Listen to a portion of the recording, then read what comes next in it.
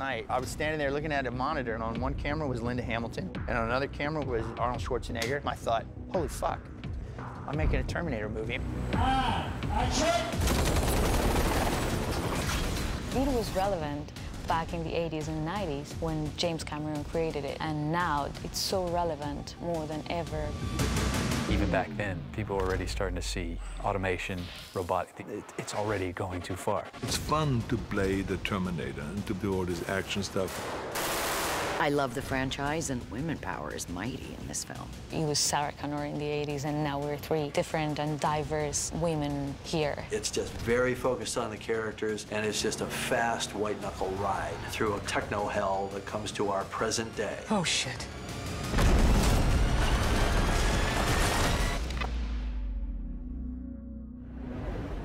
Never seen one like you before. Almost human. I am human. Just enhanced.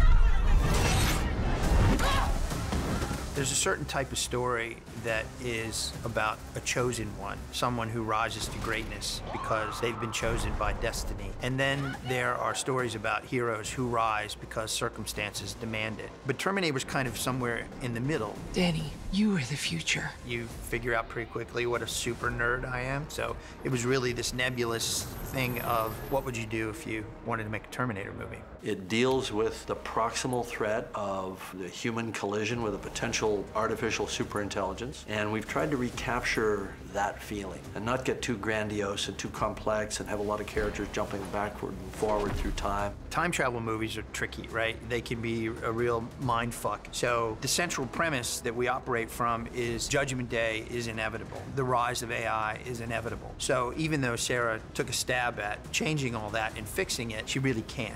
And it, what she did was just kick the can down the road. In fact, the new future is worse. It carries on the, the true story that we started telling in 1984. That it is a very lovely, linear story that could have fractured off into so many different versions of the future, but still somehow, I think we're on a straight path of storytelling. I'll be back.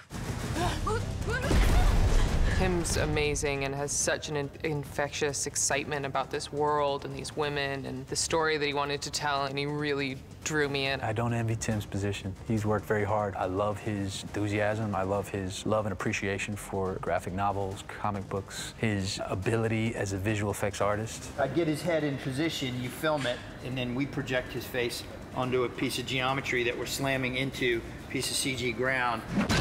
That is the world he comes from, to create this fantasy and to create this world. And we've seen that in Deadpool, and uh, you know we will see it also in this movie. He feels very comfortable with moving from directing a stunt to directing you in a very intimate scene. Tim has this fresh, new vision that is adding to the new vision of James Cameron and the franchise. And so I think it's a perfect match. Just want you to know that when Dani's safe and this is all over, I am going to kill you.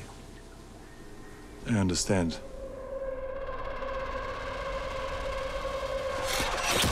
The most important reason for Jim to come back to the franchise is because he knows the material like nobody else. Secondly, he's fucking Jim Cameron, so he's one of the smartest guys you'll ever meet. I'm a, a creative executive producer on the film. I worked with Tim Miller trying to give him the best bat to hit a home run off of. That's called the shooting script. The primary place he was involved was in the in the writers' room. We did a, a little authors' writers' room at first for just a couple of days, which was great. I brought in five of the top sci-fi fantasy authors that I'm a big book nerd, so getting to have those guys in there just to blue sky what this new film could be was great. And then we brought in the screenwriters, so we got a we got a lot of opinions and, and thoughts. At the core of Terminator movies is Jim Cameron's complete belief that AI is coming and his complete suspicion that AI will wind up being a curse. But at the bottom of all of that is his belief that the human spirit will always triumph. I think the way Jim had created Skynet and the technology that came out of that was we knew a lot less about what kind of shape AI would take. Our dependence on technology is so much more than it was back when the original films were created. So it's not just that the future attacks us by using our weapons against us, it's that the future attacks us by using our complacency against us. One of the reveals of the film is, is that the future isn't ruled by Skynet, it's ruled by a different artificial intelligence. The AI that's pursuing Dani sort of arose from a similar set of circumstances, but is a different AI. James Cameron is such a visionary. He's always there with that thing we don't see, and five years later we're like, oh, he was right. He's a visionary. Cameron does a lot of research before he writes these things, and uh, Tim Miller, before he writes, he does a lot of research. And so they're very smart about what the future holds, and they study this stuff. There's a lot of good ideas and observations about the movie that come from that level of connection that Jim had. Jim is particularly good at those little details, those little things that make you feel the characters are real people going through extraordinary events. He's always there to say, this is thematically on point, this is not thematically on point, this is what these characters would do, this is not what these characters would do. And, he, you know, as much as I think I have a handle on it as a fan, there's nothing like getting that from the source. My name is Sarah Connor. We changed the future, saved three billion lives. You're welcome. I think for fans of the franchise, the biggest thing by far is that Linda's returning. Sarah Connor is in the story. She's returned to the story, which is, for me, being a huge fan of the franchise, that was it for me. I don't think any of us really imagined that we would want to create a Sarah Connor that wasn't played by Linda. Then the question became, does Linda want to come back? I felt very much that I had worked a very complete character arc in the first two films from a nobody to a warrior. I didn't want to just keep doing them without the ability to add something to the character arc. I actually wrote her a very logical email about uh, why it would be great for her to do this. My argument was people love this character. People love Sarah. They love your Sarah. Why do you care what happens to her? Because I was her. Sarah Connor just feels so important to the history of cinema and, and action. And obviously, she's a woman, and that's important, but she's also just a cool evolution of a human being. Sarah Connor it's such an icon, and he was one of the first female superheroes that we had. It's really interesting to go back into our story, and Sarah has lived through events that are from a future that never happened because she changed it at the end of Terminator 2. It was hard to figure out where Sarah Connor is now. Who is she now? Is she a complete lunatic alcoholic? I suggested that she be fat because then I wouldn't have to work so hard, but that didn't work. Sarah reminds me of the seasoned sports player that's been on a championship team for years and years and is able to coach the youngsters. Linda comes to the set prepared every fucking day. She wants to do all of her stunts. I will always go as far as I can into a character, but there are limits at my age. Had to go to training camp in Texas for weapons and unlearn what I knew in 1991 because everything has changed. So that button you gotta push kind of hard. Yep, if I can find it. When you see Linda Hamilton kicking ass and taking names, it's Linda Hamilton kicking ass and taking names. It's not a stunt double. Linda is a great, great addition to this film, and I think that Cameron and the other writers, they knew how to bring her back in a very organic way. When you see the film, when Sarah comes into the movie, you just feel this amazing sense of, oh, okay, here we go. She's back, she's bad. Why not just let me have her? Because we're not machines, you metal motherfucker.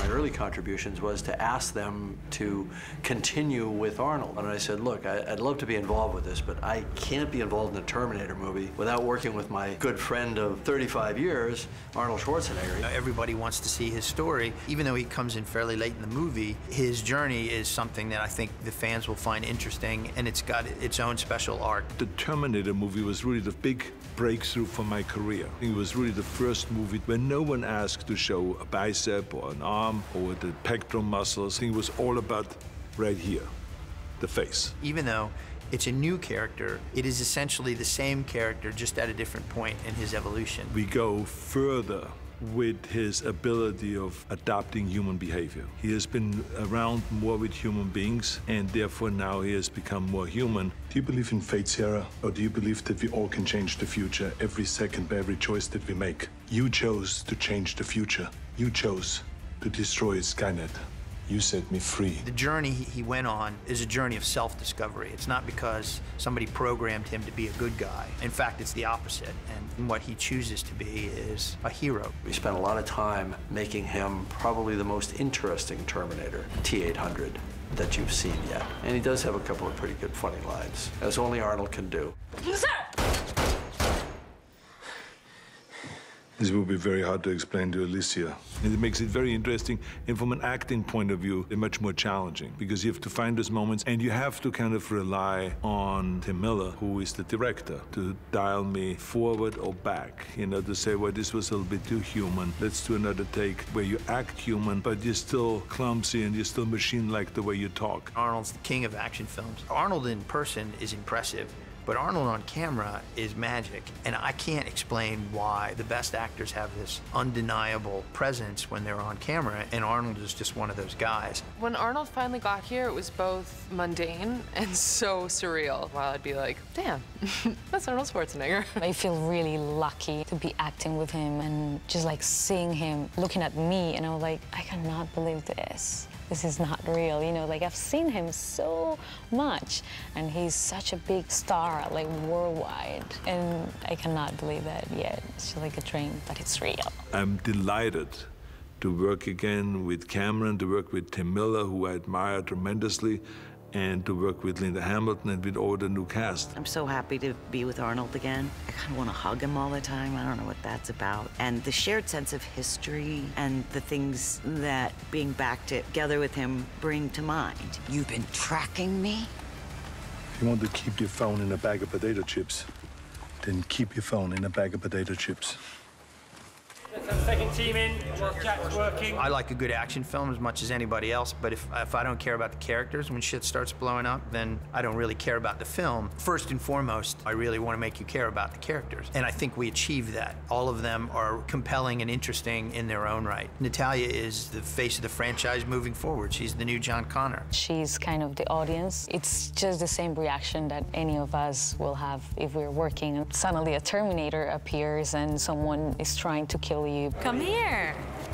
Let me show you around.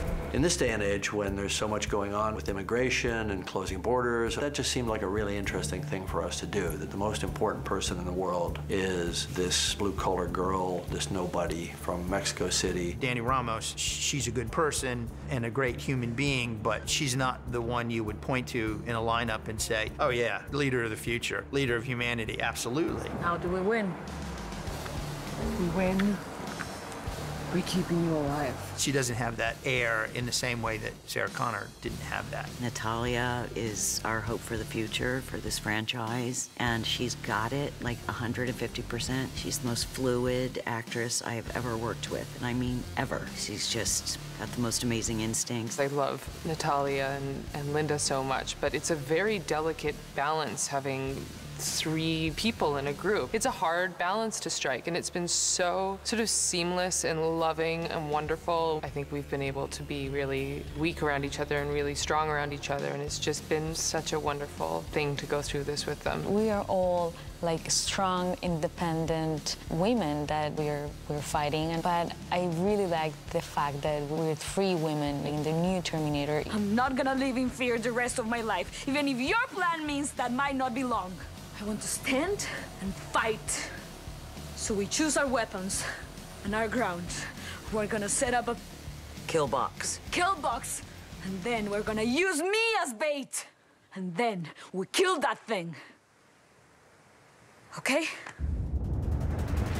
Grace is the character that I think the audience will identify with, and she is the star of the action set pieces, and she's the character that dies at the end. So I have to make you care about her, so her death is meaningful. She is this sort of nobody who gets plucked out of an unimportant existence and is called upon to take the reins in her own life and to act bravely and selflessly. And I think we're all really invested in stories where people risk not just their lives, but their comfort and they take the reins of fate. Talk. Talk fast. You first. With Grace being this augmented super soldier from the future, it opened up a whole other world of opportunities for how these action scenes could be. Grace is built to fight Terminators, so super speed, stronger than normal, ability to take a lot of damage, enhanced senses, hearing, eyesight, things like that, but still with all that human heart and human drive. Is she good? Is she bad? She's definitely not entirely human. How human is she? She's a pretty interesting character. Mackenzie's she's a fantastic actor and she's very emotional. She's got her career in indie films mostly, and she has a lot of humanity. You instantly like her, which is why I chose her because I need the audience to identify. Mackenzie is supposed to be a super soldier from the future, so we had to put on a lot of muscle mass to make her look as badass as she does right now. Ever seen something like that? Or made that up?